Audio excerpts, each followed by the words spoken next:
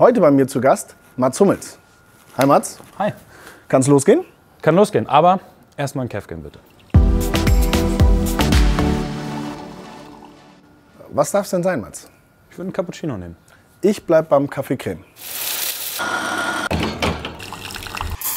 Mats, ich muss zugeben, ich bin ja einer von deinen 80 Millionen äh, Followern bei Instagram. Und da habe ich gesehen, du hast ein Espresso-Foto gepostet und auch Leute vertaggt.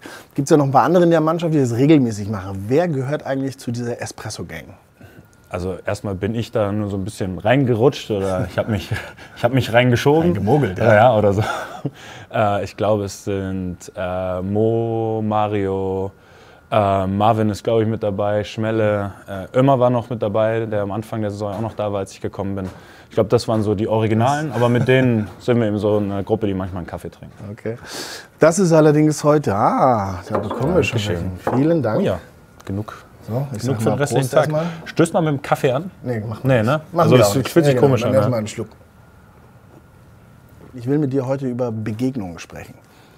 Was war die beeindruckendste Begegnung, die Mats Hummels je hatte? Es gab ein paar, die mir auf Anhieb einfallen. Eine, Eine? eine sehr coole, weil sie noch nicht so lange her ist und mir in Erinnerung ist, ist 2018 war ich in Wimbledon. Ähm, hab da eben Boris Becker, ich glaube, ihr kennt euch ja auch, hab den da einmal persönlich getroffen, eben mal ein bisschen mit dem gequatscht. Ich glaube auch einen Kaffee getrunken. äh, der hat mir da mal so ein bisschen Wimbledon da gezeigt, erklärt. Ähm, und der war halt einfach, also in meiner Jugend nicht mehr ganz der Star, der er schon mal ein paar Jahre zuvor war. Aber ich habe mir eben so ein bisschen was vorher angeschaut, Dokus oder alte Videos und einfach äh, davor eben nochmal realisiert, was für ein, was für ein Weltstar der war zu, Lichtgestalt, sein, ja, zu seiner besten Zeit. Also wirklich auf dem, absolut ganz oben auf dem Olymp. Und dann auch zu sehen, wie die Leute den in äh, Wimbledon verehrt haben und so, das war, schon, das war schon sehr cool. Und er auch als Person war sehr lässig. Ich höre ihn auch als Kommentator gern zu, weil jetzt gerade eben auch wieder Tennis viel läuft. Ähm, ja, deswegen, das ist eine der, der coolsten Begegnungen so bisher gewesen auf jeden Fall. Sehr gut. Ähm, Gibt es denn jemanden, der dich überrascht hat, im Sinne von, du dachtest vorher so, war, nee, ist nicht so mein Fall und dann aber, das war eigentlich ganz cool. Gab es das auch Das gab es auf jeden Fall. Ähm, Magst du die Frage, Namen nennen? ist jetzt die Frage, ob ich da, ob ich da sagen möchte, mit wem ich so negativ äh, Hm. Aber das ist da ja- ist ja nichts reingegangen bin. Negatives. Nee, das stimmt. Ähm, ah, müsste ich jetzt, schlimm ist, wie viel Zeit haben wir? Habe ich, hab ich, hab ich Bedenkzeit? Ja, ähm, Ich trinke mal kurz eine trink mal einen Minute Schluck mein- ich Kaffee, trink mal eine genau, Minute ich mache Kaffee. mach da mit. Und wenn es zu schwer fällt, dann sag mir doch einfach, vielleicht gibt es ja jemanden, den du gerne treffen möchtest. Also, wo du sagst, boah, das wäre eine Begegnung, die ich noch gerne hätte und noch nicht hatte. Ähm, ah, ich würde jetzt übrigens gerne noch vorhin noch Dirk Nowitzki reinbringen, weil den wollte ich gerade erst nennen, als, aber den habe ich ja mal getroffen. Ja. Ähm, da hatte ich aber ein sehr gutes Bild schon vorher. Nicht? Also Als der Beispiel war, für die beeindruckendste- Begegnung. ja, genau. genau. Den hätte ich noch gerne genannt, den nehme ich noch im Nachhinein dazu. Ja, klar. Ähm, ansonsten irgendeins meiner Sportidole aus der Kindheit würde ich sagen. Äh, ja, oder immer noch Roger Federer vielleicht. Roger. Äh, Habe ihn mal live Tennis spielen sehen, übrigens auch da in Wimbledon, als ich da war. Da ist er leider rausgeflogen. Aber ja, so. Aber auf eine entspannte Art. Nicht so ein 10 Minuten Meet and Greet, wo man kurz Floskeln austauscht, sondern beim Kaffee. Beim Kaffee. Beim so Kaffee. ist es. Aber es wäre keiner, wo du sagst, da wäre ich so nervös, da würde ich hingehen, mir ein Autogramm holen oder ein Foto machen. Foto würdest du vielleicht machen. Äh, ja, Foto vielleicht, wobei ich bin dann nicht so einer, der da viele Fotos macht, muss ich sagen. Also Okay. äh, mit Nowitzki habe ich mal eins gemacht und einmal in meinem Leben habe ich mir ein Autogramm geholt, da war ich zehn Jahre alt. Nein, da wollte ich mir ein Autogramm holen. Also hast du noch nicht. Aber ich hatte keinen Stift und dann ging es nicht. Wer war's denn? Mehmet Scholl, der hat bei mir in München in der äh, Ecke gewohnt, wo ich gewohnt habe. Okay. Und ich hatte keinen Stift da. Und dann habe ich gesagt, gut, dann, dann lassen wir es. Und das war das letzte. Mal, dass ich jemandem nach einem Autogramm gefragt habe, tatsächlich. Das auch konsequent. Das ist Mats, wie ich ihn kenne. Ja, Einfach konsequent, dann nicht, dann, dann halt nicht. Wer war denn, vielleicht auch Mehmet Scholl, war das jemand, weil er auch aus dem Fußball kommt, der dich inspiriert hat, so als Kind?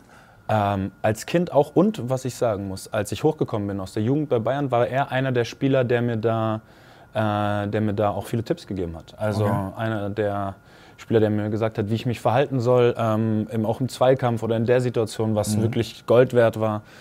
Ähm, wo ich es gerade erwähne, kann ich vielleicht zu dem, wo ich positiv überrascht war, Mackay nennen.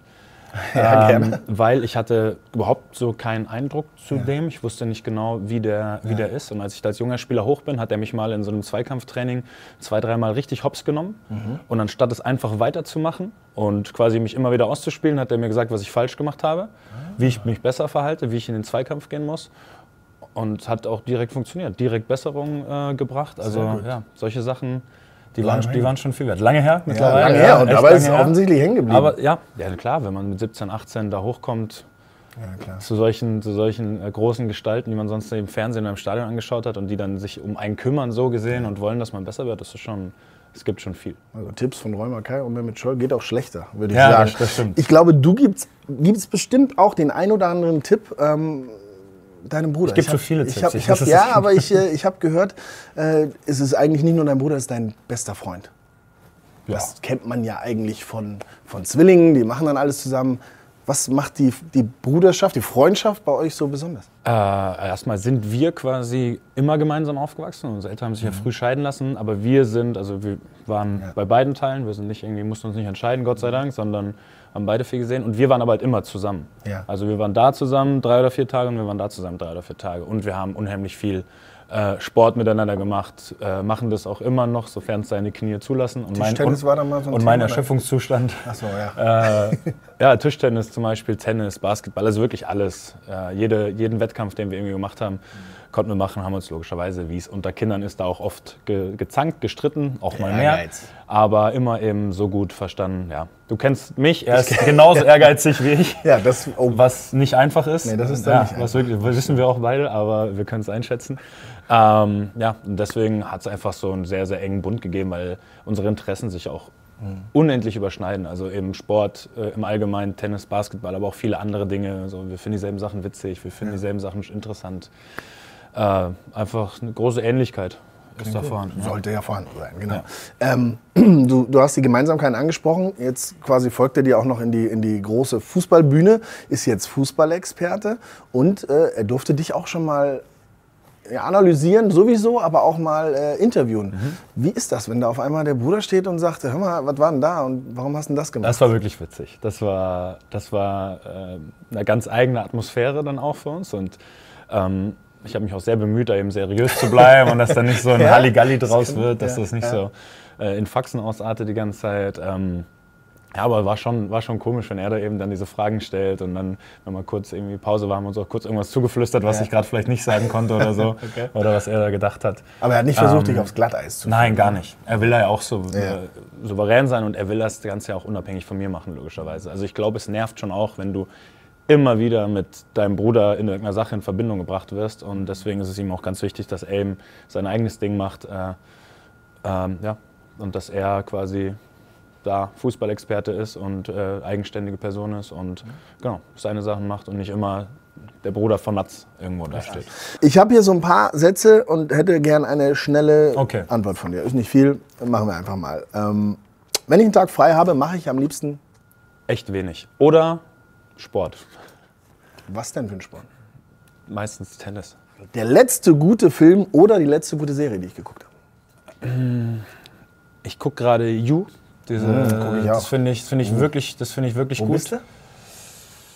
Folge 5, Staffel 2. Ja, ich ist auch. Das, ja, Ziemlich- ist das korrekt? genau, ja. Lebt er bei dir noch? Wer jetzt? Ja, Ach so, ja. So, das ist nur mein Standardwitz. Das ist mein alle, Standardwitz die bei noch sowas. nicht so weit sind. Ja, Äh, ganz ja, genau. finde ich wirklich gut. Ist jetzt nicht, nicht eine 10 von 10 Serie, aber Ich eine habe mir coole sagen lassen, am Ende wird es nochmal echt krass. Wurde mir auch gesagt. ja, Ja. dann freuen wir uns gemeinsam darauf. Wenn ich Musik höre, läuft bei mir Oh, ganz viel Verschiedenes. Ich Richtung. gestehe, dass ich momentan relativ viel Deutschrap höre, was auch für Irritationen in der Kabine teilweise sorgt, dass ich, So. Jetzt musst du aber auch einen ich, raushauen. dass ich dann eben, weiß ich nicht, Capital Bra, zehn Zeilen am Stück mitrap oder so und dann guckt mich Mutter Hut an und sagt, was ist eigentlich Was ist mit dir was ist mit dir? Das bist doch nicht du. ja, aber du hast halt Ähm, diese Facetten. Ja, ich höre auch, weiß ich nicht, dann kommt vielleicht im Auto, im Auto höre ich dann vielleicht eine Ludovic Einaudi Playlist tatsächlich auch, was ich liebe. keine Je nach Ahnung, Stimmung. Äh, Pianist. Ja. Äh, Klavierstücke. Aber überrascht Kann ich dir sehr empfehlen. Ja. Aber so, je nach Laune. Aber wie gesagt, ein bisschen mehr Deutschrap, als ich eigentlich gerne äh, zugeben würde aktuell. Okay. Ähm, In meinem Podcast lade ich Ovo ein. Wenn er mir dafür Geld zahlt. Das, das ist echt unfair. Das ist Nein. so nein, Kein Wenn. In mein, nein, in meinen Podcast lade ich Ovo einen Punkt. Was hältst du davon? Das ist eine gute Aussage. Nehmen wir dich mal mit rein. Muss ich aber lass noch kurz gedulden. Wir haben noch, wir haben noch ein paar andere Ja, Gesprächspartner. ich stelle mich Äh, gerne schon- hinten an. Anderes Thema, ähm, du hast Erling Haaland im Training mal so schön abgegrätscht, hast das auch gepostet. Aber erzähl mir was, wie viel Freude macht es erstens, den jetzt dabei zu haben, so wie es im Moment funktioniert? Und was macht er so mit seiner lockeren Art, unverbraucht, frisch? Was macht das mit der Mannschaft? Genau das, er gibt Gas ohne Ende. Also er ist wirklich extrem engagiert. Äh, spielt viel gegen ihn im Training. Ähm, ich weiß, warum er, warum er, Warum er so warum gut er. Tore schießt. Ist schon, er so gut, ist. wie er- Äh, Also klar, jetzt gerade ist auch ein kleiner Lauf, aber die Anlagen, also ich bin immer einer, der da Genau. lieber Ich- ein bisschen ich- drückt. ich.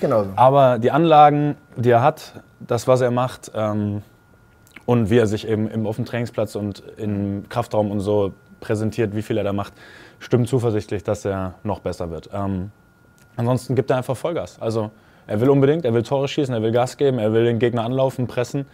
Ähm, er will das Spiel im Training gewinnen. Das sind ziemlich viele gute Eigenschaften für einen Fußballer.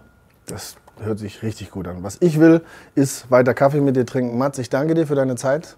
Ich, danke- Und, ich danke ähm, dir für den Kaffee, beziehungsweise unsere Kaffeedame ist schon verschollen. Genau, aber danke nochmal. Ja. Also zum Wohl, bis zum nächsten Mal.